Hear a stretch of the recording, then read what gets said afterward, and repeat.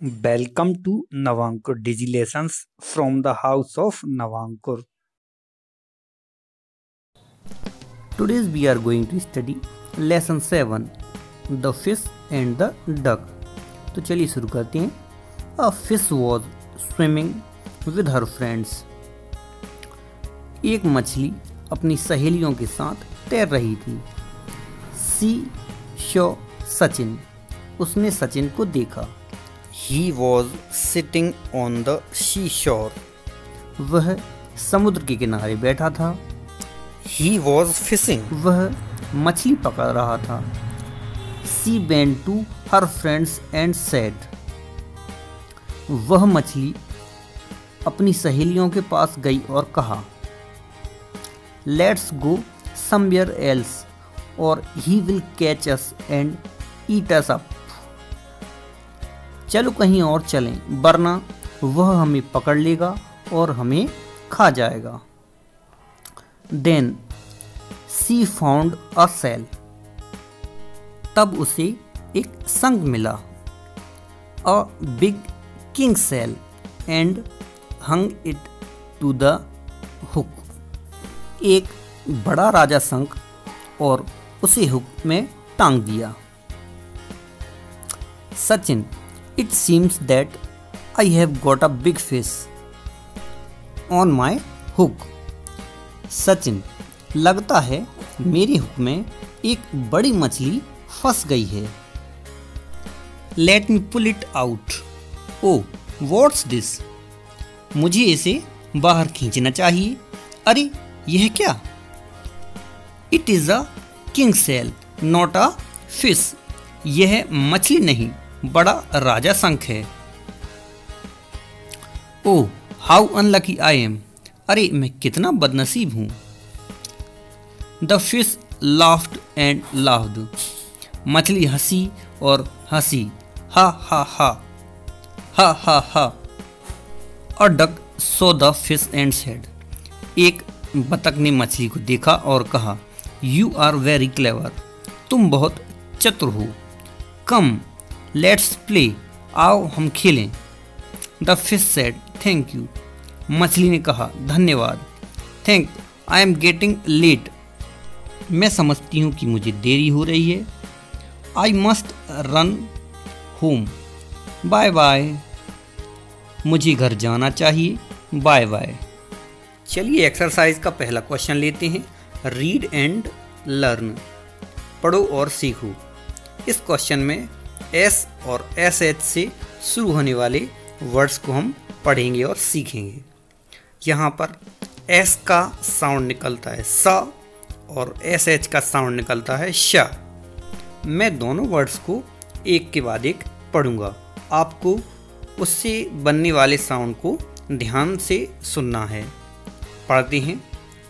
Sign shine sip ship sell, shell, sea, she, sore, shore. समझ आया? अर्थात यदि कोई वर्ड सिंगल एस से शुरू होता है तो उसका साउंड निकलता है सरोंटे वाला सा। और यदि कोई वर्ड एस एच से शुरू होता है तो उसका साउंड निकलता है शक्कर वाला श। समझ आया? तो इसमें हमने सरोते वाला सा और शक्कर वाला शाह इन दोनों साउंड को पहचानना सीखा। चलिए वर्ड पावर का क्वेश्चन लेते हैं। Rearrange these letters to make a word and write them in वर्णों को सही क्रम में जमा कर शब्द बनाओ और लिखो। उदाहरण के तौर पर for example W I M S इसकी सही स्पेलिंग बनेगी S W I M swim means होता है तैरना। चलिए अगली स्पेलिंग देखते हैं। ए ई एस इसकी सही स्पेलिंग बनेगी। S E A sea sea means होता है समुद्र। Double L E S H इसकी सही स्पेलिंग बनेगी। S H E double L shell means होता है शंख। अगली स्पेलिंग देखते हैं। H L U A G इसकी सही स्पेलिंग बनेगी। L A U G H laugh. Laugh means होता है हंसना। अगली स्पेलिंग देखते हैं। ए डब्ल्यू एस इसकी सही स्पेलिंग बनेगी। S A W saw saw means होता है देखा। अगली स्पेलिंग देखते हैं।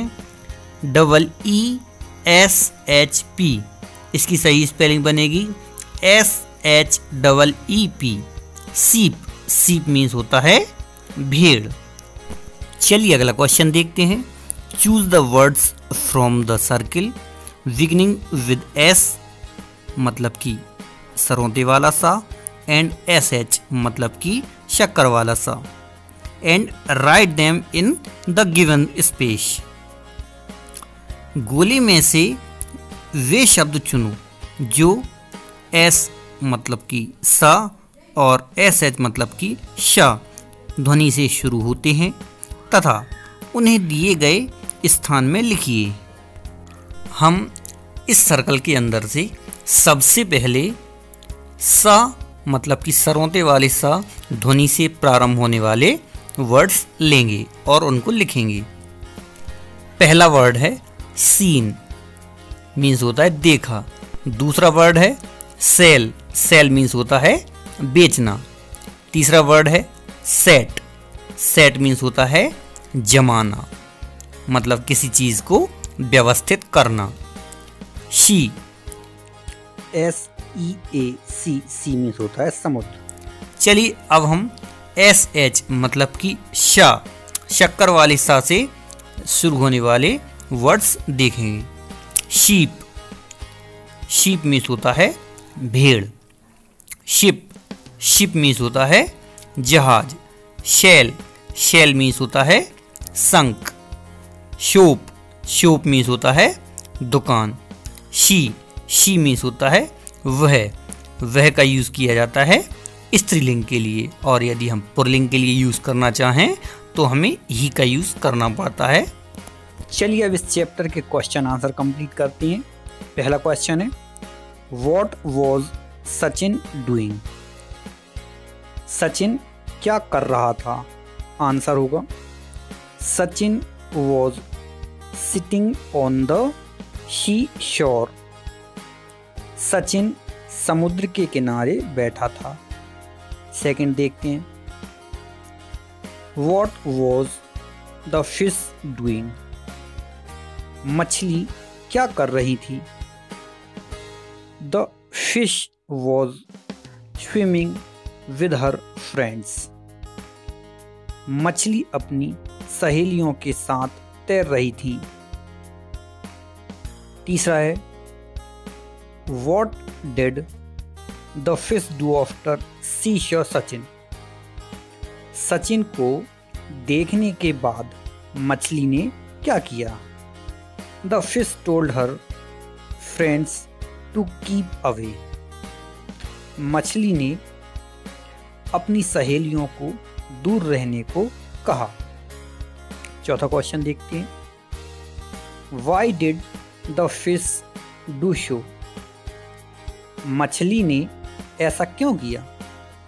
आंसर है she wanted to save her friends वह अपनी सहेलियों को बचाना चाहती थी। लास्ट देखते हैं। What did the fish hang on the hook मछली ने हुक में क्या लगा दिया?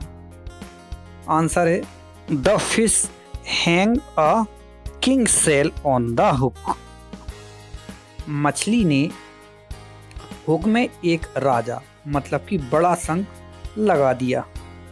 चलिए अगला क्वेश्चन देखते हैं। Write T for true and F for false statements सही कथन के लिए टी और गलत कथन के लिए एफ़ लिखो। पहला है, Sachin wanted to catch fish Sachin मछली पकड़ना चाहता था। आंसर होगा T T for true next he got a big fish on the hook उसने पाया कि हुक में एक बड़ी मछली आई। इसका आंसर होगा एफ़